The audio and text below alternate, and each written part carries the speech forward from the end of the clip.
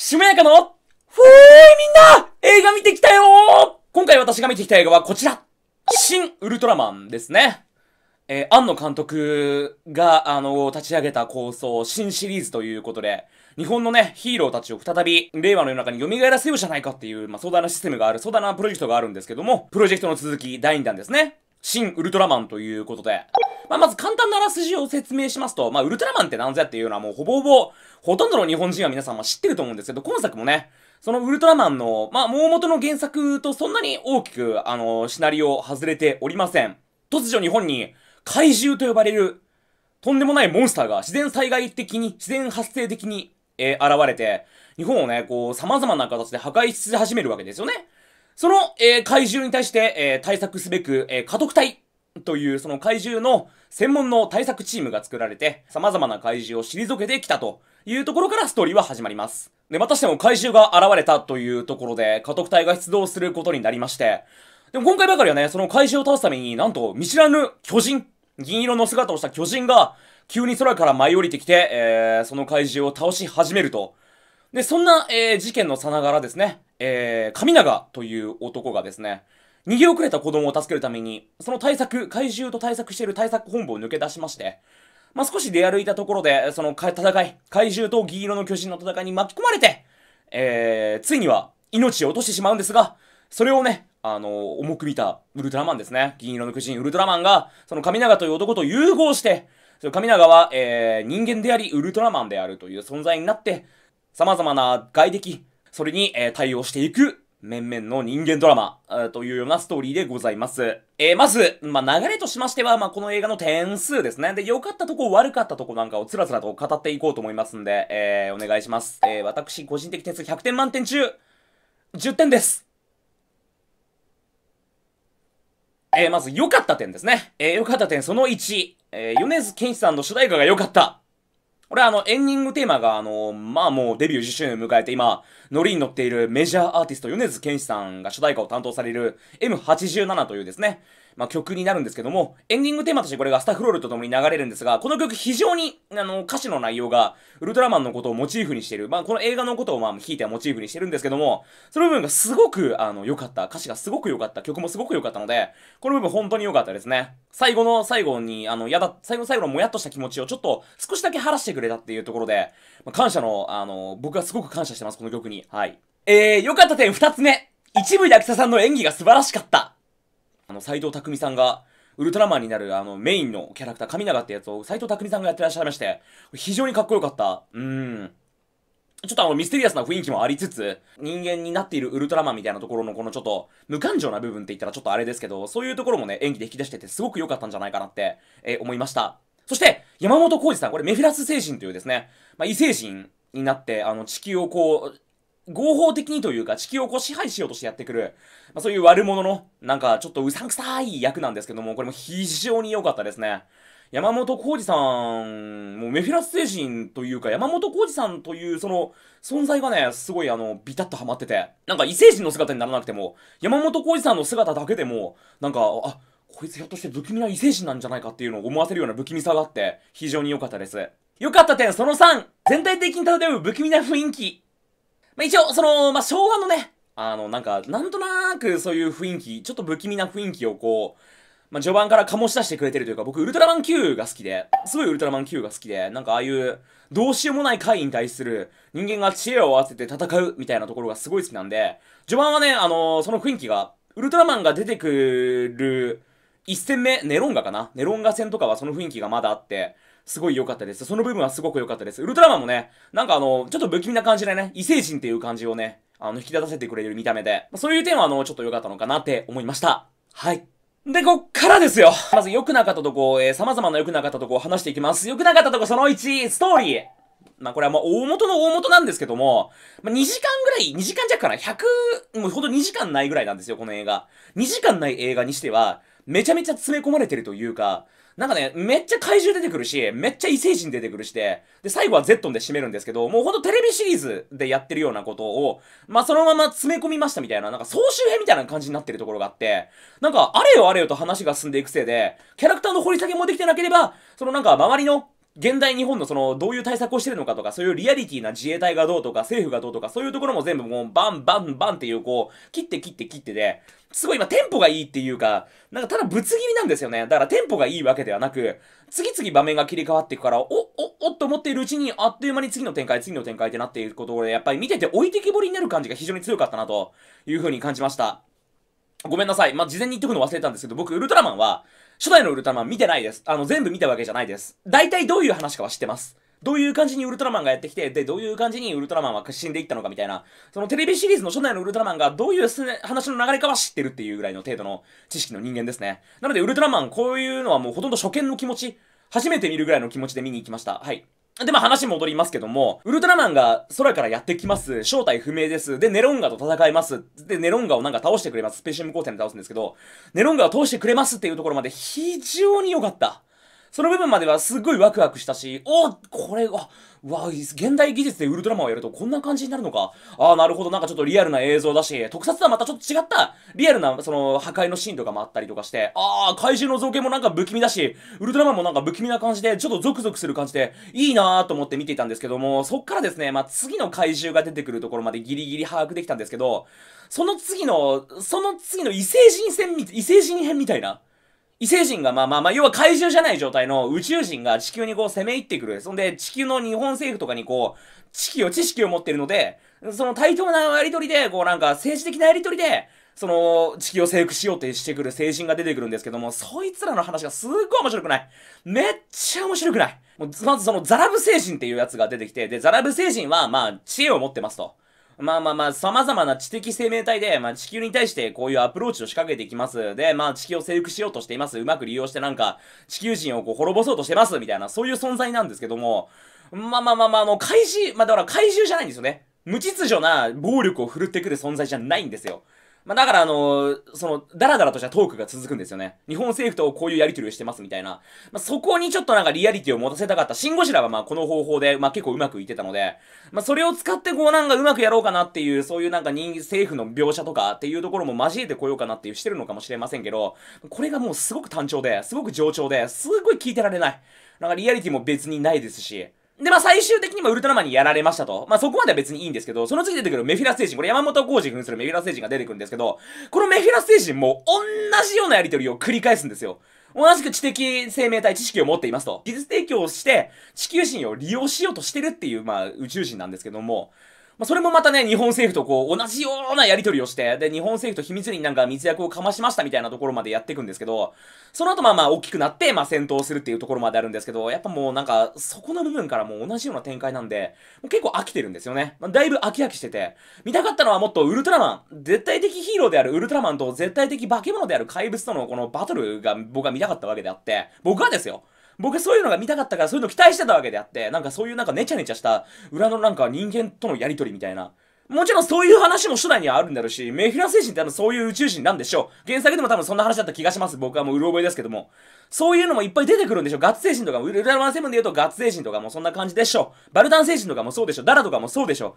そういうのはまあまあいいんでしょうけど、一個で良くない？ザラブ星人のくだりもいらなかったし、メフィラス星人の方が良かったし、キャラクターとしては。で、まあまあ、ストーリーが一個一個ぶつ切りなせいなので、その家督隊っていうメンバーにもう思い入れが全然湧かないんですよ。もう家督隊がなんかする前に、もうとにかく話がパッパッパってう、家督隊って基本的に何もしないんですね。すんごいただ傍観者なんですよ。なんかあの、銃を撃つわけでもなく、武器を使うわけでもなく、ただただなんか自衛隊にちょっと命令するみたいな。で、分析するとしてもなんか、なんか分析したけど、情報よくわかりません。分析したけど、まあどうすることもできません。お手上げです。あはは、みたいな。感じの人たちばっかりなので、まあ、あのー、全くその、いる意味がないというか、ただ怪獣とかウルトラマンが戦ってる現場に行って、ほえー、すごいウルトラマンと怪獣さんが戦ってるわー、すごいんだーみたいな。なので、え、いる意味が全くわかりませんでした。なので、そいつらに感情移入することもできないですし、別にメンバーの一人一人がこういうバックボーンを持ってて、で、そういう思いを持って家督隊に参加してるみたいな、掘り下げも全くないので、本当にびっくりするほどそういうのがないので、キャラクターに感情移入は全くできません。なんで人間ドラマとか、そういうのを期待してる人はもう、軍内。もう帰ってください。そういうところはね、非常に残念でしたね。シンゴジラって、なんか割とそういうところしっかり描けてたというか、なんか、シン・ゴジラって結構人間の描写、人間ドラマもしっかりしてて、人間とのやりとりがすごいちゃんとしてたとは思うんですよね。シン・ウルトラマンなんでそれが全くなかったのかなって考えたんですけど、やっぱり詰め込みすぎたから、あれもやってこれもやってっていう、その、怪獣をいっぱい出して、精神をいっぱい出して、戦うウルトラマンをいっぱいやってっていうところをやりすぎたせいで、2時間しか時間がないので、キャラクターの掘り下げがやっぱできなかったっていうところがあるのかなと。もうなんか、うん、みんなこうこうこういう役職で、まあ、こんなことやってますみたいな、ただただ文字の羅列みたいな風になってて、キャラクターのことを、内情とか全くわかんないし、もうあの、セリフ口調、説明口調なんですよね。みんなの登場人物のセリフが全部。私はこう思って、こういうことを考えてますみたいなことを演技とか、なんか匂わせるとかで、バックボーンで演じるとかでもなく、全部口でペラペラ説明するんで、そういう部分もなんか、あー、あー、うーんっていうなんか聞いてて疲れるんですよね。良くなかった点、その2、映像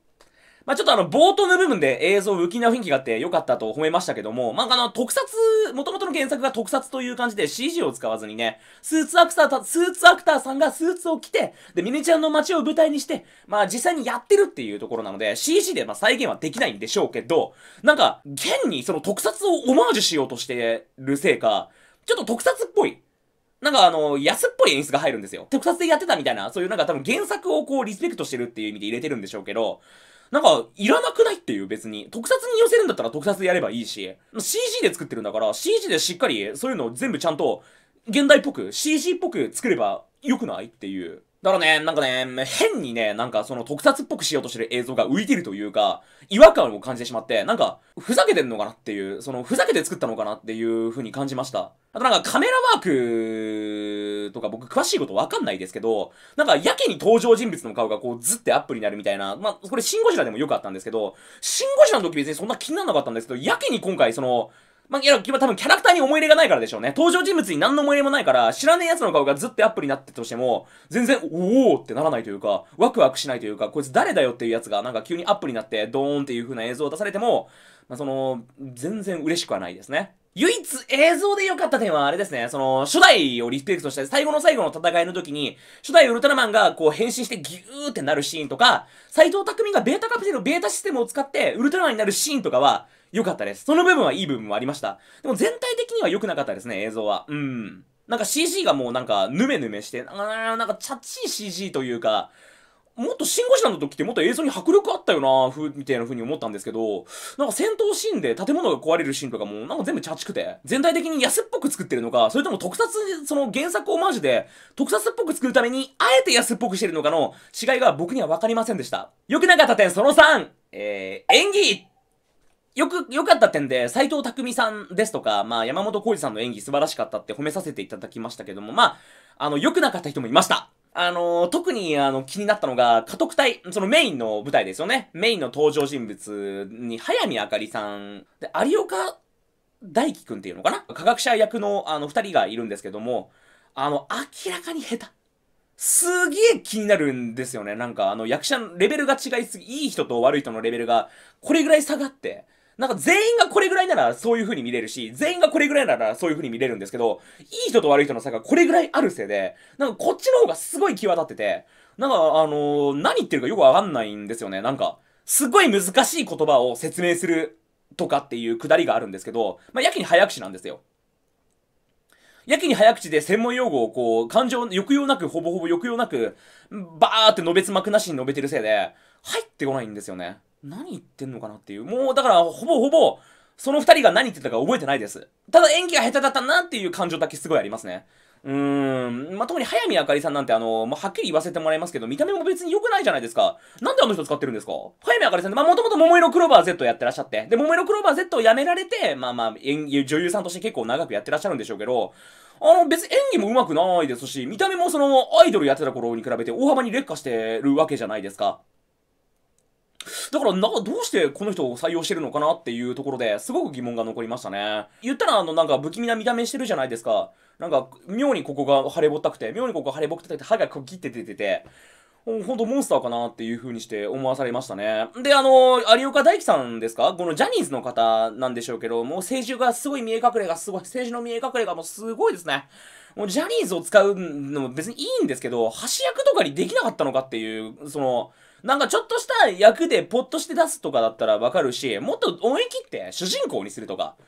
もう、そういう風にそこまで振り切った使い方されるのに、なんか、サブキャラクターの一番大事なやつみたいな風にしてるせいで、サブキャラクターの一番大事なやつが一番大事じゃないですか、言ったら。こいつ、この、こいつって言っちゃったよ。この有岡大樹さんっていう方が、まあ、要はもう、あの、最後の決め手となる、もう、最後の決め手となる情報を導き出す、まあ、科学者なんですよね。一番頭がいい、一番キーパーソンとなる。で、葛藤とかもするんですよ、この人。なんか、人間の科学力の無力さとかを知って、科学者ゆえに人間の科学力の無力さとか宇宙人のこの持ってる圧倒的な技術力の差とかで、こう敗北感を感じて科学者として一回こう心折れるんだけど、そこから立ち上がるっていう熱い役なんですよね。ただ、このあの、こいつがね、このね、ジャニーズの若造が、なんかジャニーズのこの若者がね、なんかね、よくわかんないもう棒演技をするもんだから、この熱い部分が台無しなわけなんですよね。一番演技力が求められる部分だと思うんですけど、大丈夫ですか？本当に。ここはもうほんと一番熱が入るキャラクターですし、なんんだったらまあもう最後はゼットン戦なんですけど、そのゼットン戦をウルトラマンでも立ち打ちができない、もう圧倒的な絶望の中で、ただ科学力、人間の力、人間の英知を駆使して、で、人類の総力を上げて、で、圧倒的な新しい科学技術を導き出して Z に対処しようっていうのの、橋渡し役とかリーダー役メインのキャラクターなのに、この有岡とかいうやつのこの棒演技のせいでもう、びっくりするぐらい、びっくりするぐらいその説得力がない。そこの人類の英知が集まる科学者同士の話し合いのシーンやりますね。Wow, um, this answers me, wow, wow, no, that answer, Mart, Alf, Labs, Out Lab, wow, how, uh, oh, you that, oh, wow, wow, Hans, how are you, nice to meet you, wow, okay, okay, アラームだ、oh, マイナス、プラス、ウェイ、oh, yes, yes. えー、このシーンを3分ぐらいやっただけで、えー、人類の英知は完成します。なんかもう大きな会議室にみんなが集まるとかそういうんじゃなくて、もうなんかあの 3D メガネをつけてオンラインでやってますって。まあそれはいいんですよ、別に。もう、あの、まあそういう科学技術がね、今当たり前になってますし、そういう風なやつはいいんですけど、何言ってんのこいつっていう、この下手くそな映画でね、下手くそな英語で、よくわかんないことをベラベラ述べる3分間のこの滑稽なシーン。この滑稽なシーンだけで、じゃああのエンチは完成するっていうところに何のカタルシスがあるんだと。うわ、ついに人類が英知を集めて何か科学を導き出して、これでウルトラマンでも立ち打ちになった Z を何とかできるんだ思わない。私はそうは思わない。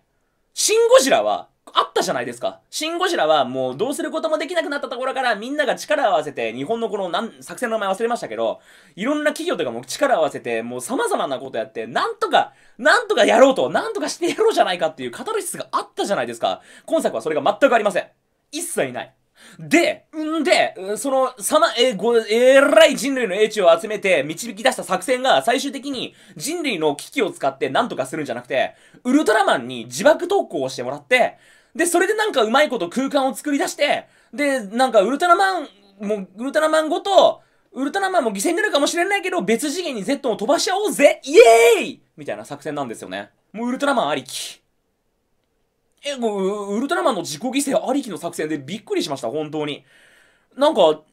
じゃあ、ウルトラマンがもう死んじゃって、ウルトラマンもいなくなっちゃって、ウルトラマンに頼れない。じゃあ人類の力を合わせて作ったなんか化学兵器かなんかで最後にこれを使ってやるよとか、ウルトラマンに頼らずやるよとかじゃなくて、最後の最後までウルトラマン頼みっていうところに僕はがっかりしました。で、なんかウルトラマンもなんか、もう宗教ですよね。び怖かったですね。ウルトラマンもなんか、そのキャラクターの掘り下げをしてないから、ウルトラマンがなんでこんなにも人間のことを愛して、なんかこんなにも人間のために尽くすのかがわかんないんですけど、最後の最後も、もうウルトラマンはもう死ぬかもしれない作戦に対して、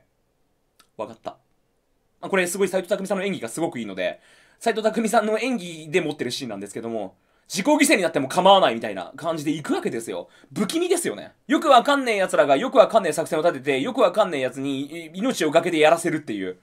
ほら、もうびっくりしましたね。良くなかった点その4、長澤まさみ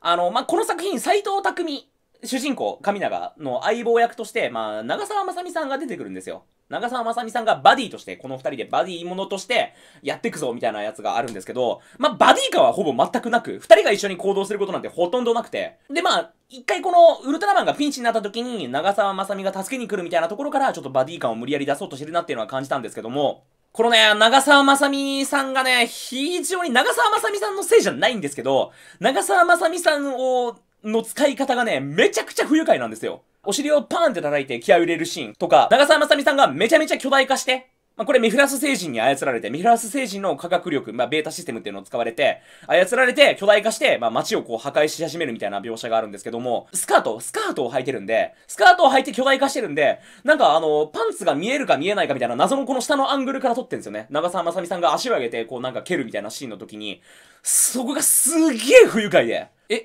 エロ親父が作った話みたいな。長澤まさみのパンチラシーンとかで盛り上がると思ってんのみたいな風にして、ムカつきました。で、その長澤まさみさんが巨大化するシーンも、なんか多分どうやら原作にあったシーンのオマージュ。原作も、そのね、あの、なんか女性隊員が巨大化するっていうメフラセ、メフラ星人がわかんないけど、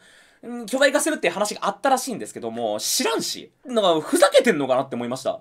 こっちはもうウルトラマンが、かっこいいヒーローのウルトラマンが、大怪獣たちと戦っていくと。みんなの力を合わせて、で、科学特捜隊も力を合わせて、みんなで一丸となって、地球、日本のね、平和を脅かす大怪獣たちを、ウルトラマンがかっこよく倒していくっていう映画を僕は見たかったのに、そういう映画をやるべき、そういう映画だと思ったのに、巨大化した長澤まさみのシーンがやけに長い。その2時間に詰め込みすぎて、まあ、掘り下げが足りなかったみたいな話しましたけど、長澤まさみのシーンあんなに撮るぐらいだったら、もっと掘り下げることできたら他のキャラクターをとか、ウルトラマンをとかっていうところに対してもムカつきがありましたね。見ててそのシーンすげえムカつきました。なんかもう、なんかこうやっとけば面白いんでしょみたいな、はい、どうぞ盛り上がってください。どうぞ、長澤まさみさんが巨大化しましたよ。あはは。さあ、ツイッターで盛り上がりたまえ、君たち感想で盛り上がりたまえ。さあ、こんなイかれたシーンをあの長澤まさみさんが巨大化するって、なんということだ。いやー、長澤まさみさんが巨大化した。これはみんなびっくりするぞ。はい、みんな巨大化した長澤まさみさん。しかも、パンチラするかもしれない。セクシーシーンがあるかもしれない。どうです？キワキワを攻めてるでしょ？っていうところが透けて見えるところは本当に嫌いです。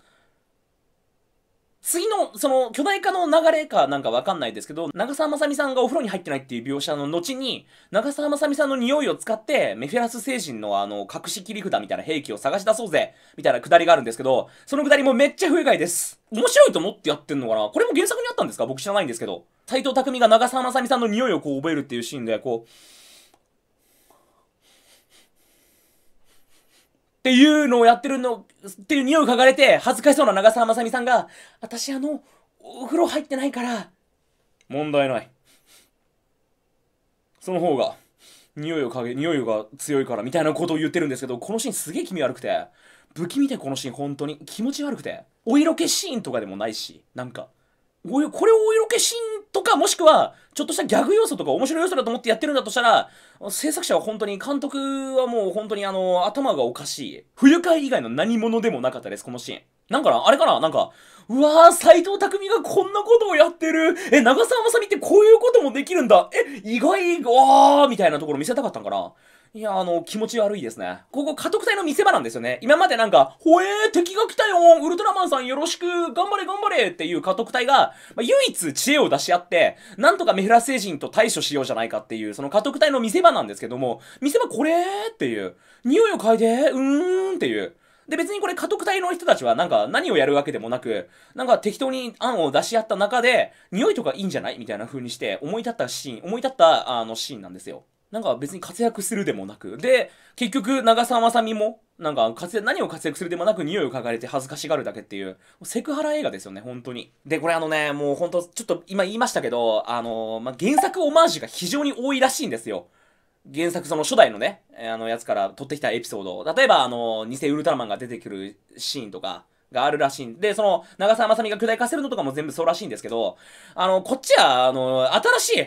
全く新しくなったそのウルトラマン、シンっていうタイトルついてるわけですから、新ウルトラマンを見に行ったわけであって、昔のウルトラマンオタクによるウルトラマンカルトクイズを見に行ったわけじゃないわけですよ、こっちとしては。その別に本編と関わらないところに、ちょっとオマージュ、小ネタを散りばめて、で、見る人が見たらわかる。あ、なるほど、いや、渋いなこういうネタでできたんだ。わー、なるほど、なるほどな、とかだったら別に僕は全然いいと思うんですけども、メインにそれを持ってきたんだったら、メインにそれを持ってきたんだったら、それを面白く、面白く違和感なく消化しなきゃダメなんじゃないの？くっそ違和感あるし、くっそ面白くね、そのなんか巨大化する長澤まさみとか、で、長澤まさみのパンチらしいんだかなんか知らんけども、何が面白いのこのシーン？何回も言いますけど、こっちはウルトラマンがかっこよく戦うシーンを期待していってるわけですよ。いや、知らんって言われても、それは知らんで、俺も、俺が勝手に思ったことだから、それは期待裏切れたのは僕ですから、僕の感想なんで知りませんけども、ウルトラマンカルトクイズがやりたいんだったら、ウルトラマンカルトクイズの映画を作って、どっか別な会場で、な東京タワーのふもとかなんかでやって、で、優勝者は東京タワーのてっぺんでウルトラマンの実写台のやつと握手できるとか、そういう特典すりゃよかったやんか。ウルトラマンカルトクイズもうほんと飽き飽き。なんか、至るとこにあるらしいんですけど、ウルトラマンのその、原作オマージュの要素が。うん、こういうなんか、あ、これは知ってるとは2だね、みたいな、ウルトラマンオタクが、ウルトラマンオタクのために作った映画だったら予告編にそう書いてくれる。それが中途半端になんかもう、面白い映画作ってる顔しないで、ウルトラマンカルトグッズに振ってもらった方がよっぽど面白かったですね。映画見てる途中に、ドゥルンっつって、このシーンはウルトラマンのどこをオマージしたものでしょう？チッチッチッつって。で、なんかこの会場のこの椅子のところに早押しボタンかなんか押してもらって、ピンポーンって押して、何々って後ろのロッキー後ろの特撮オタクのおじさんがめっちゃ大きな声で回答して、正解はダンって出てみんなでわーって盛り上がった方がよっぽど良かった。よっぽど出来が良かった。もうこっちはもうその正解なんだかよくわかんないウルトラマンカルトクイズだかなんだか、その原作のなんか特殊なやつを散りばめただかなんだか知らねえやつ、そのね、一部の知ってるやつだけが優越感を得れるみたいなコンテンツをね、なんかもう長々と見せられてた。で、なんか不愉快な思いもさせられて、で、肝心のウルトラマンの出来、肝心のウルトラマンはなんかもうしょぼしょぼ。物語で掘り下げも甘い。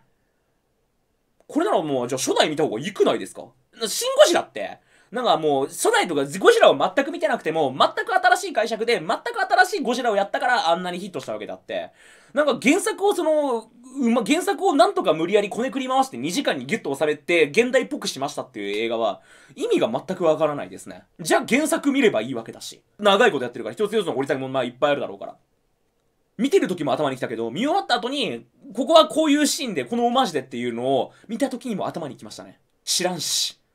これならじゃあ全く新しい解釈のウルトラマンのが見たかったわ。最もムカついたのが、まあ、そのなんかゾフィーが、その光の国の要は死者で、地球を危険だと、人類を危険だと判断したので、まあ、滅ぼしますと。で、滅ぼすのにゼットンを使いますっていう風にして、だかそのゼットンを秘密兵兵器として使って地球を滅ぼしますっていうくだり、まあ、これ別にいいんですけど、